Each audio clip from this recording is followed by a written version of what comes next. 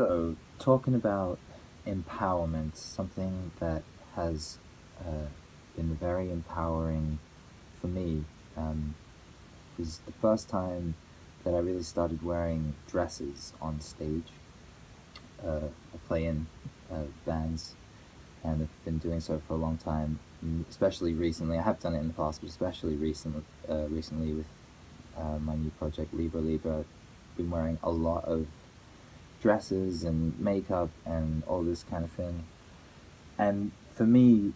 the empowerment of it is on several layers, but the core thing behind it, I think, is that I actually have a very intense, at times, social anxiety. And for me to be able to do something that I've enjoyed privately for a long time um,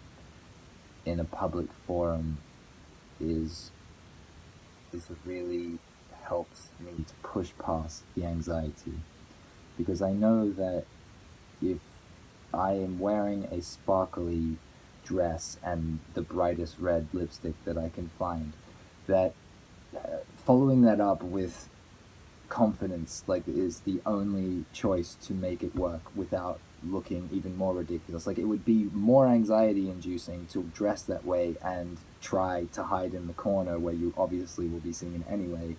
than to just walk past people and try and um, you know bring some joy into the scenario. And the amazing thing is if if if you know you you have to because you are rising to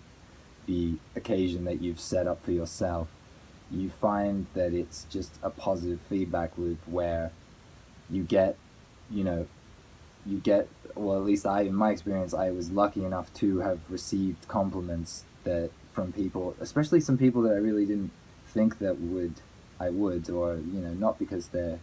not into it. I just thought, I don't know. I just, I just didn't expect it because probably because I have a low self-esteem. Um, and then to go out and do that and actually be told, you know, by people, oh, you look so beautiful tonight, blah blah blah, is is a really, really nice thing that that starts to make the confidence that you're faking come true. I think,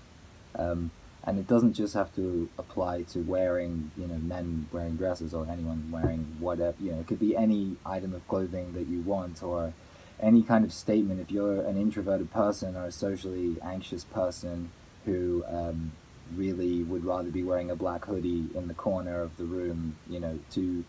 to do things and to put yourself in situations where the you can start to use the the fear and the anxiety as a way to propel yourself forward. Um, if you can find a mechanism of doing that, that is an incredibly empowering thing because even though at the beginning you will be faking all of the confidence, um, it, will self actualize and it will become a real thing.